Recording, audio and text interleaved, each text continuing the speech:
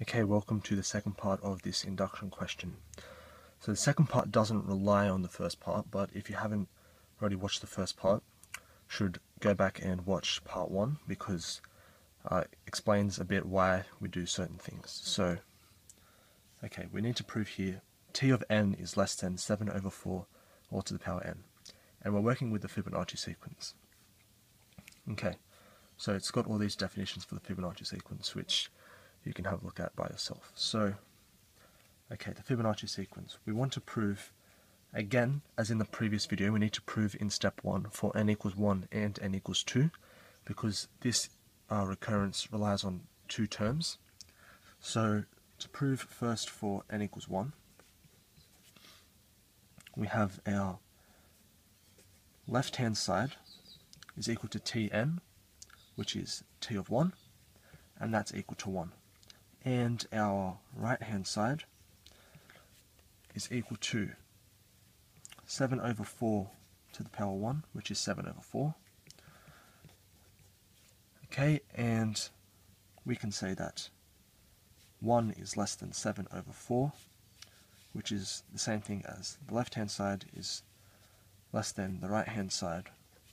And so it's true for n equals 1. Okay.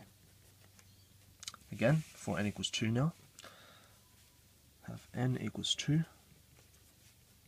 Have our left hand side is t2, which is 1 by definition again. And the right hand side is equal to 7 over 4 squared, which is 49 on 16. This is clearly greater than 1. So 1 is less than 49 on 16. So the left hand side is less than the right hand side, which means it's also true for n equals 2. Alright. Now, we need to make two assumptions, as in the previous video. So we're going to assume n equals k and n equals k plus 1 are true. So, we need to prove, assume this for n equals to k and n equal to k plus 1. So assume that tk is equal to 7 over 4 all to the k and t of k plus 1 equals 7 over 4 to the k plus 1. Okay. So we're now required to prove the truth of n, um, n equals k plus 2. So we're required to prove that t of k plus 2 is less than 7 over 4 to the power k plus 2. Alright, let's have a look at the right hand side. Sorry, the left hand side. So left hand side is equal to t of k plus 2. But again, by definition, t of k plus 2 is t of k plus t of k plus 1. Okay, now we can use our assumptions and say that this is less than t of k is less than 7 over 4 to the k, and t of k plus 1 is also less than 7 over 4 to the k plus 1. Right, this is by assumption.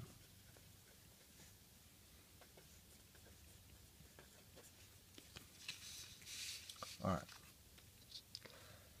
Now, this here, we can factor out 7 over 4 to the k from both of these terms.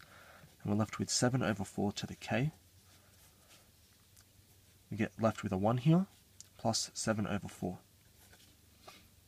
Okay, and this is equal to 7 over 4 to the k. Now we can make a common denominator of 4, so 4 plus 7 is 11 over 4. Now, what's 11 over 4? We can rewrite this in a separate way. We can rewrite this as multiplying top and bottom by 4, we can get 44 over 4 not over 4, over 4 squared, which is 16. Okay, now, you might be asking why. What compels me to think to do that? Well, we want to prove this. We want to prove k plus 2. And so we want, we've already got 7 over 4 to the k here. We already have that. Now we just want to get 7 over 4 squared.